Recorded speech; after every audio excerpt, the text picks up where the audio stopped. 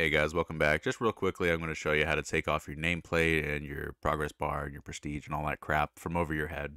This is a feature added in patch 1.5.6, and all you have to do is go to your settings. You're going to stay here in interface, and you're going to go all the way down to the bottom here where it says show nameplate, and you're going to check that off. You apply it, confirm, and you will not have your nameplate or any of that crap hovering over your head any longer.